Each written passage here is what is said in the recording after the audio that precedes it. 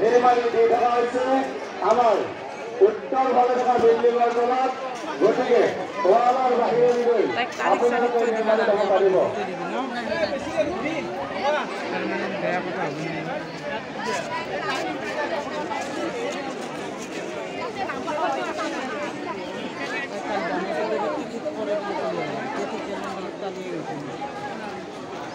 vote নিৰ্মাণী অকণমান পাছ কৰিবলৈ কৈছে